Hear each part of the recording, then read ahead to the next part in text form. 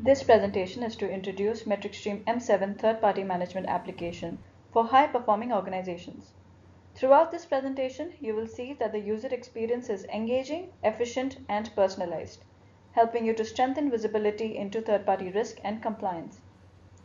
The MetricStream M7 third-party management application enables a comprehensive process to identify, assess, mitigate, and monitor third-party risks, as well as to manage compliance. The app streamlines third-party information gathering, due diligence, onboarding, real-time monitoring, risk and control assessment, issue tracking, and action management. It also helps in assigning tasks and documenting interactions with the third party. Let's see how the application enables companies to gain valuable intelligence and visibility into third-party relationships. Today we'll be going through MetricStream's full third-party management lifecycle with a single view of the third party and providing business insight with our reporting where we can report on all information within the MetricStream repository. Today what we'll be going through is stage one, which will be your ability to add a new third party using a dynamic risk assessment. The dynamic risk assessment will allow you to use rules to send out specific due diligence questionnaires and certifications to your third parties based on the rules set from that inherent risk assessment based on scores, etc. We allow for approval processes and review cycles through all stages of our workflow. MetricStream workflow capabilities, which will allow you to create a workflow based on your user's needs.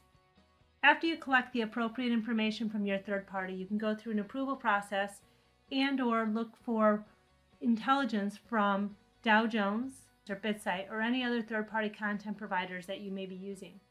All this information will be provided in a qualification process to your internal user to make a final determination on whether or not you want to do business with that third party.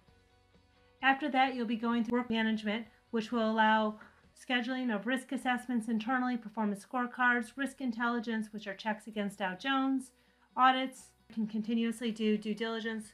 Within our product, the first thing that you'll see is that a third party will have or internal user will have their landing page. In this personal page, you get to set up what type of capabilities that you want to see.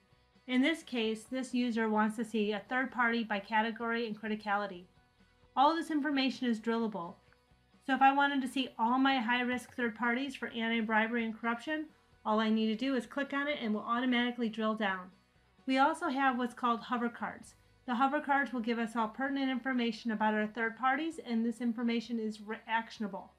So if I wanted to see all of the issues that were tied to a specific third party, or all of the responses to a questionnaires, I can go ahead and I can click on those, and I can get detailed information about any of the third party's issues or about the qualification process that they went through.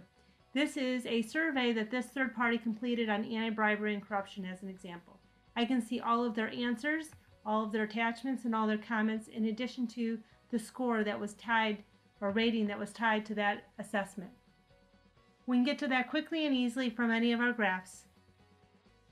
We can add a new third party pretty quickly just by saying I want to add a new third party um, by a specific purchasing organization, for example. For different area, a different geography, based on the purchasing organization that we select and the relationship, which is the types of products or services that are being offered. This will determine the types of due diligence questionnaires that could potentially be sent out to a third party. We can ask key questions like the total amount spent or the countries that we're doing business in.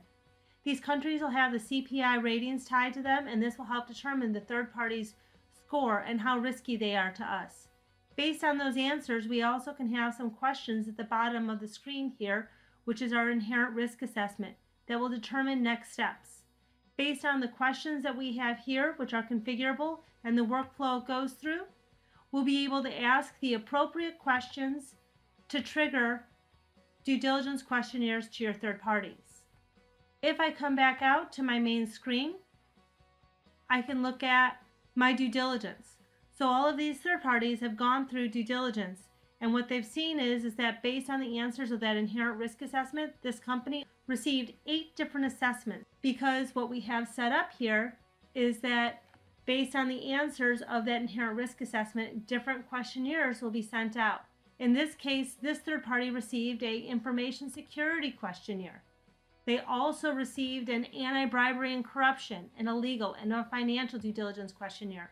All of this was determined based on that initial assessment. Some key things to look at. In our overview screen, we're going to be able to easily see the third parties by rating.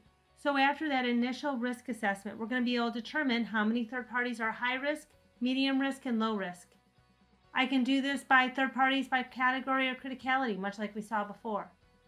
We can also do it by ratings by risk type and third parties by criticality.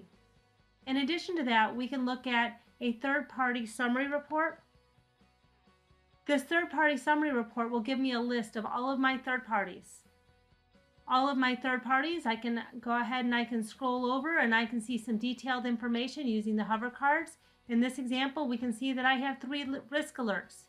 These are three Dow Jones risk alerts that something, some negative news has been found. We can also see the risks that are tied to the individual third party or the issues, if there's any issues tied to the third party quickly and easily. In addition to that, we can do some quick and easy reporting on our third parties using MetricStream's reporting capabilities. You can see that we have some previous charts that were created, and I can just come here and I can add a new chart um, Maybe I want to do it by rating and I want to create a pie chart and I want to do it by third party tier, current rating, previous score.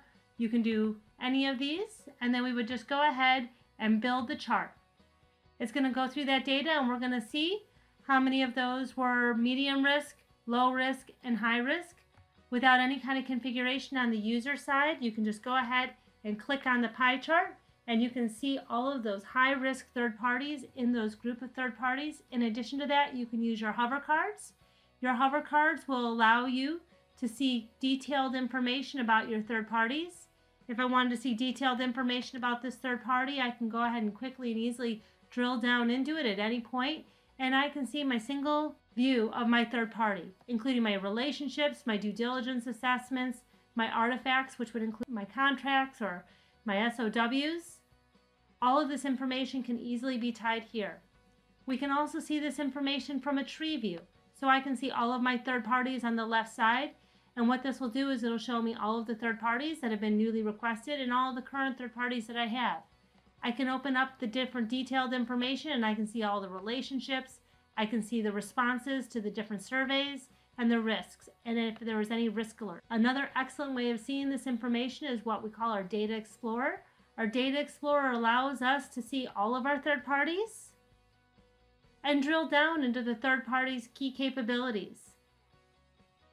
We can see all the third parties, we can see all the ones that are newly requested, and I can select, in this case, Acme Services. When I look at Acme Services, we can see that they have one risk alert that's tied to it.